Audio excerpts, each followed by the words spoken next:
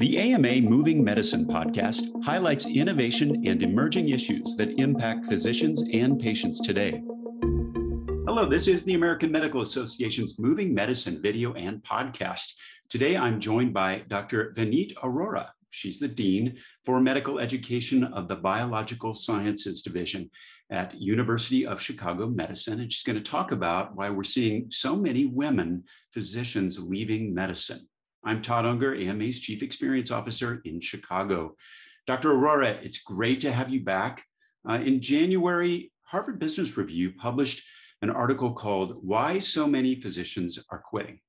And in that article, it reported that large numbers of women physicians are either cutting back or quitting and taking jobs that offer them more flexibility in terms of hours and the ability to work from home. So let's uh, start, we're going to reflect on this article and what you know from your own colleagues. Um, you know, what do you think about this trend and what are you seeing? Yeah, no, thanks, Todd. It's great to be here from the Pritzker School of Medicine. And um, yeah, I remember seeing that article and it was tragic because it was true. And I think many people think women physicians are insulated from all of the shecession that we've heard about with the pandemic and women and job losses, for example. Um, and unfortunately, it's not true. And women physicians, just like women everywhere, are subject to the same challenges that women face, um, particularly around disproportionate caregiving and what happens when, um, you know, caregiving is upended, like in the pandemic um, but also um, you know burnout and a lot of a lot of us are facing burnout in healthcare um, all the way from the front line to leaders. And so we are seeing women physicians leaving um, in many different ways. And um, and some of that is you know early retirement and some of that is younger women choosing to leave jobs that they feel that are not aligned with their work life balance. And so this is gives, gives us a lot of pause to think about particularly in academic medicine I mean, it would be a concern, you know, for any profession to see women leaving. Why is this particularly a concern uh, to see women leaving medicine? Yeah, no, that's a great question. And I would say that, uh, you know, we, there's so much data on the importance of diverse teams uh, performing better. And particularly women add a lot to the table in terms of leadership style, in terms of equity, an equity lens um, and being role models. I mean, I'm here at the Pritzker School of Medicine where we've got, you know, uh, in medical school, we do have gender equity in terms of entry into medical, um, into medical education. And so what about when our, our female medical students reach, uh, you know, the wards and you know what do they see in the surgery operating room? What do they see when their leaders are giving lectures um, or sending out emails? Do they see people that um, look like them and that model that that uh, you know remind them of who they are? And i think that's a really important thing to keep in mind that in academic medicine especially where we still have underrepresentation of women in medicine at the professor level and the chairs and deans level that we have not seen um, despite equity at the entry level for many years. Um, we have not seen that translate into the leadership level. I also think there's some great data that shows that women physicians actually have better outcomes, slightly better outcomes in terms of readmission um, and mortality than, um, than their male counterparts. And certainly, while that could be hotly debated, um, they certainly don't have any worse outcomes. And so really do highlighting that, um, that it's important to think about why um, having diverse leadership styles is at the table. And particularly women are, are well known for a team approach, collaboration, um, and this is across all sectors, including in the political sector, where we do see that there are very big differences in the way that men and women lead teams. I'm curious if this is follows that pattern that we've heard with so much, which is trouble before the pandemic and then exacerbated by it. Is this something that was kind of happening before we ran into the pandemic days or not? Yeah, no, that's a great question. And certainly we talk about how the pandemic has unmasked equity, um, you know, uh, inequity, I should say, everywhere. And certainly this is the same issue here, where um, I would say that many careers, including, um, you know, being a leader in, uh, in medicine, have not been compatible with being a woman or a caregiver in medicine. And so we are seeing that the pandemic has exacerbated this issue, particularly for women and others, um, intersectional identities, those that have caregiving responsibilities, that's become really urgent. Um, and so, you know, when when your childcare closes or you, you know, you lose your childcare because they're sick, you really expose how how challenging it is um, that we don't have um, really good, solid foundations of childcare, paid family leave, other FMLA type, um, you know, uh, leave that that that that many people can take, but especially women tend to benefit from. And so those are all issues that that are important, um, particularly not just at the leadership level, but also at the you know, medicine is a very long runway, you know, and um, with these long, long training times, um, they overlap with reproductive timelines. And so you end up having um, family building, you know, that's happening at the time that you're thinking about your first job. You're not well established in your career, and then you're very vulnerable, and um, and you don't have a lot of control over your life. And so those can be those can be very very um, jarring, especially for women just entering the workforce. Absolutely. Um, the article also suggested that practicing medicine tends to take a greater toll on women, which leads to higher rates of burnout, something you mentioned, lower rates of professional fulfillment, uh, and higher rates of depression. And uh, this disparity can be seen as far back as residency, which is something you point out in that spectrum of training and education. Long process. I mean, do you find this to be true in your own experience? And if so, what do you what do you think uh, is the case here? Yeah, no, that's a great question. And I definitely think that, um, you know, women, uh, there is data to show women do face disproportionate rates of burnout, um, and uh, particularly in medicine. And I think when we think about why, a lot of it does go back to women shouldering disproportionate share of um, family caregiving at home. And so working that third shift, if you will. So there's so many other things that are happening. And then they're also balancing a lot of stuff at home. Um, and so how does that relate to a woman's psyche, especially when she's trying to, you know, deal with the front lines in the pandemic? I think there's also, um, you know, one of the, but I would be remiss if I didn't point out it's not just a work life balance thing. I think there's, you know, back to residency, you know, our research has shown that um, in residency, as early as residency, um, you know, uh, women physicians face um, you know disparities in the way they're evaluated. And so when women are taking leadership roles even in the residency setting to help improve patient care they are judged unfairly compared to their male counterparts. And so um, so that can also lead to burnout. Mistreatment also leads to burnout. And so anytime you have um, you know a, a sort of a a marginalized identity, um, you know, you really do um, risk that person being at risk for burnout, not just because of the disproportionate things that are happening to them in the in the home outside of the workplace, but what's happening to them at the workplace. Is the workplace set up for women and other minoritized individuals to thrive? That really needs to be a question that all of us are answering with a yes. And so I'm not sure that we're ready to to be there, uh, but that's really, really something that's really, really important for us to address address. I know, uh, and this is something you mentioned earlier when you think about women in leadership positions, that we, we tend to see fewer women in leadership positions within medicine.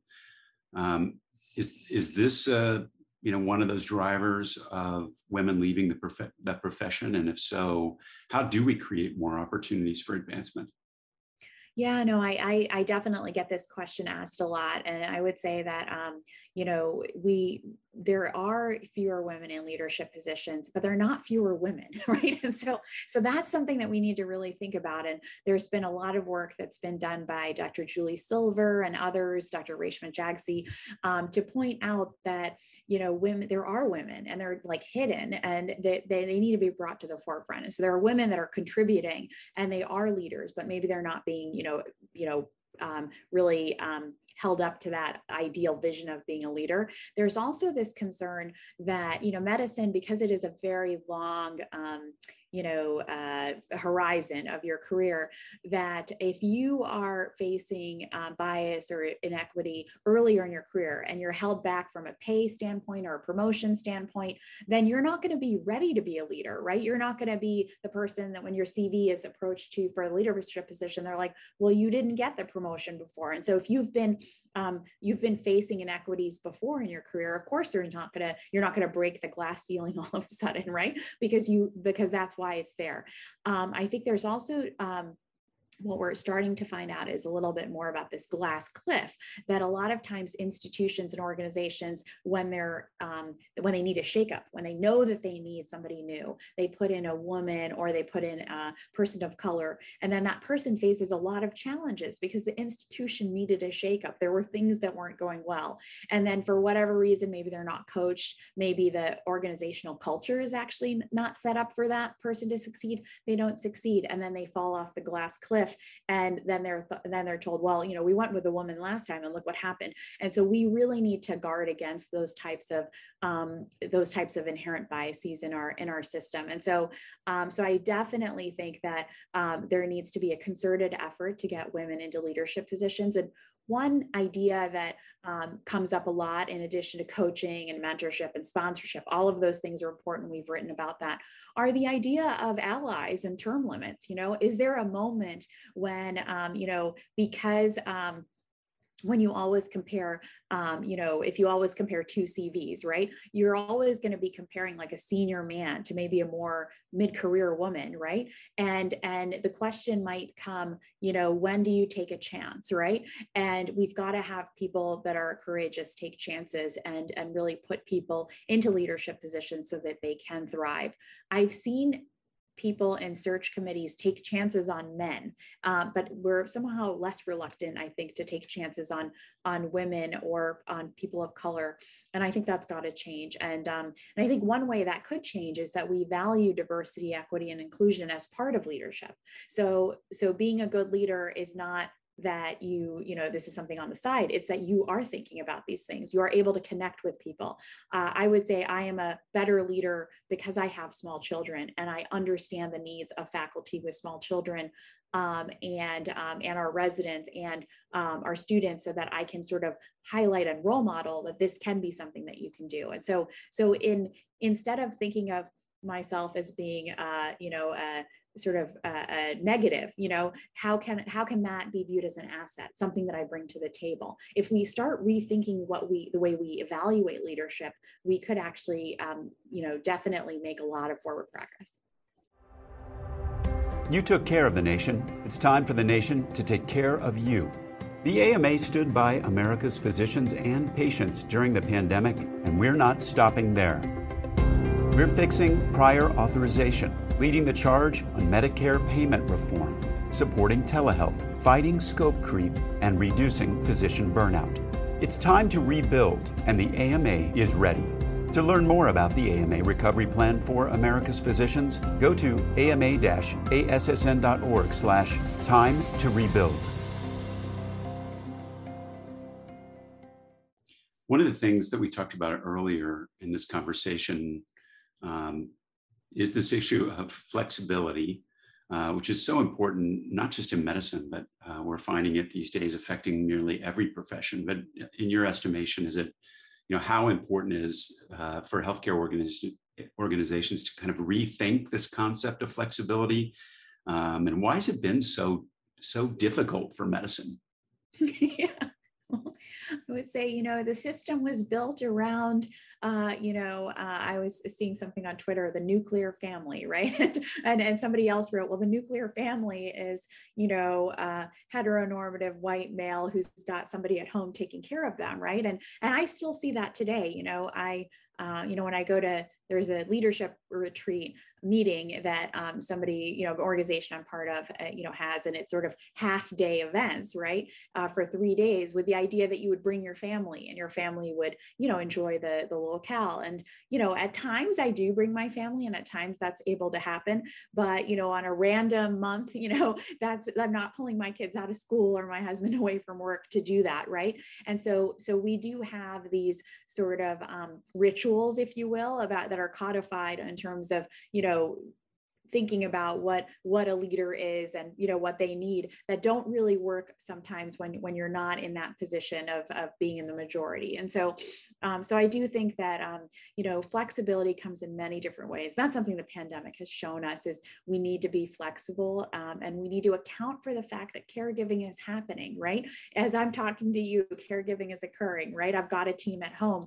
And when i was at when i was at home you know when uh, when schools were closed caregiving was happening happening, right? So even though I'm here with you, caregiving is still happening, right? And so how do we highlight that, you know, um, I don't need to be on my email over the weekend you know and and if i am on my email over the weekend you don't need to be on your email over the weekend right? And there are times that i do need to work over the weekend it's medicine but but there are times because of that that i might not work during the week right? So we need to really normalize you know stable work hours and um, a healthy workforce because we have not right? And you know think about residency training you know the history of residency training you know was uh, was very long hours you're forbidden from marriage you live at the hospital that's why you're called a resident and you know it was developed by people who were you know you know abusing drugs right so um, you know stimulants to keep them awake so so we have to look deep inside and highlight was that the system that really produces healthy stable doctors right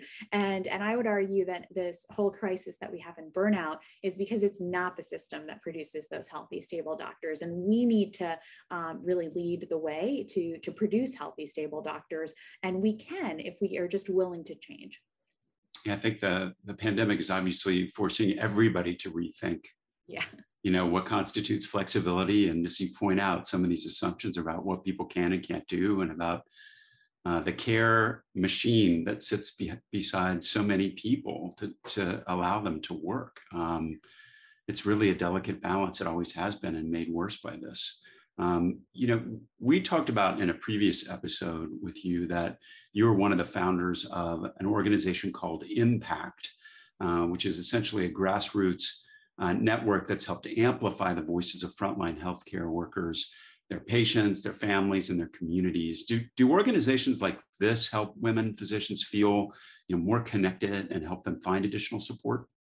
Yes, and I would say that um, you know that's so interesting that you bring up impact because it really grew out of Physician Mommy Chicago, which is a, local Facebook group um, that's led by um, a friend of mine, Dr. Laura Zimmerman, um, and really this you know kind of right early in the pandemic, this you know sort of paralysis of like how how can we do something how can we get our voices heard um, so that people could understand that things were really bad in healthcare they were really bad in the hospitals and we needed to partner with the public um, to educate them. And so that's really how impact was born the illinois medical professionals action collaborative team. It was born by physician women right who wanted to make a difference. And we've expanded to include a lot of other people including um, you know um, uh, healthcare you know healthcare workers in all different spaces nurses, pharmacy, um, a variety of other um, spaces, and as well as many students. And I but I think that identity of being a physician mother is still very important. And I've seen that in other organizations as well. A lot of women led organizations um, do very well. Um, and I think that's partly because of this idea that um, we work better in a team and we all understand that somebody can't be on first all the time. Like there you know you have to share the load right? There's um, i there's because by working into team we can do better and some weeks i'm doing well and other weeks i'm not doing so well and we can all share that burden.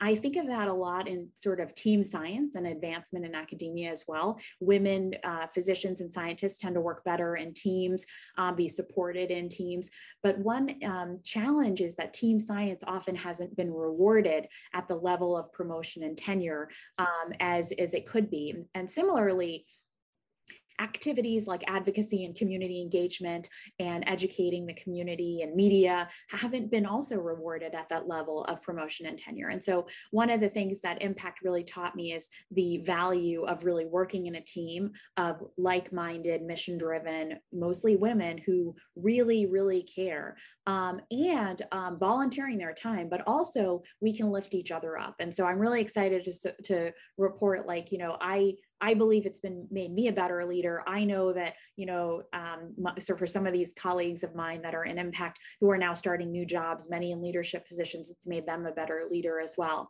And so I definitely think that, um, you know, working with other women is a really important way to lift each other up.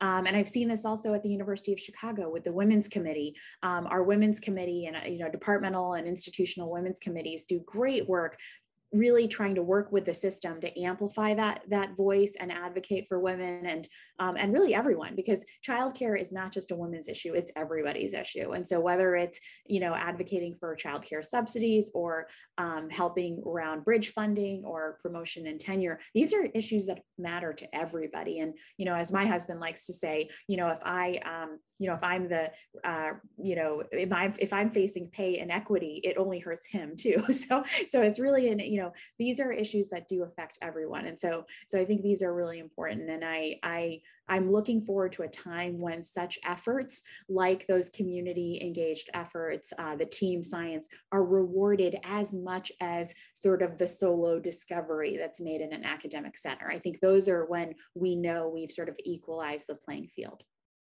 well, Dr. Arora, thank you so much for being here. It's so great to hear your perspective. That's it for today's Moving Medicine video and podcast. We'll be back with another, another episode soon. In the meantime, make sure you don't miss another terrific episode. Click subscribe on our YouTube channel uh, and check out ama-assn.org slash podcasts to get a view of all the great videos and podcasts that we do here. Thanks for joining us and please take care. This has been Moving Medicine a podcast by the American Medical Association. Subscribe to other great AMA podcasts available wherever you listen to yours, or visit ama-assn.org slash podcasts. I'm Todd Unger, and this is Moving Medicine.